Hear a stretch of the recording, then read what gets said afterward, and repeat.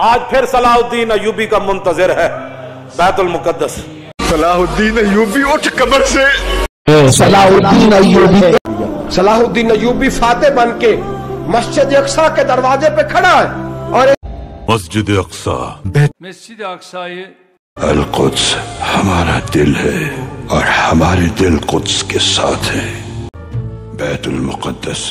ये मत समझना कि सलाहुद्दीन अयूबी जिस दिन मरा उस दिन एक बंदा मरा नहीं नहीं उस दिन पूरी उम्मत मर गई इस्लाम को बाकी रखने के लिए हमेशा तलवार की जरूरत रहे ਇਨਸ਼ਾਅੱਲਾ ਤੁਹਾਨੂੰ ਇੱਕ ਜੁਮਾ ਅਸੀਂ ਬੈਤੁਲ ਮੁਕੱਦਸ ਵਿੱਚ ਵੀ ਪੜਾਵਾਂਗੇ ਔਰ ਇਹ ਸਾਡਾ ਤੁਹਾਡੇ ਨਾਲ ਵਾਦਾ ਜੁਮਾ ਬੈਤੁਲ ਮੁਕੱਦਸ ਵਿੱਚ ਨਾ ਪੜਿਆ ਤੇ ਕਹਿਣਾ ਲਬੈਕ ਵਾਲੇ ਨਹੀਂ ਹਨ जब भी बैतुल मुकद्दस आजाद होगा जिहाद के जरिए होगा तलवार के जरिए होगा अल जिहाद अल जिहाद।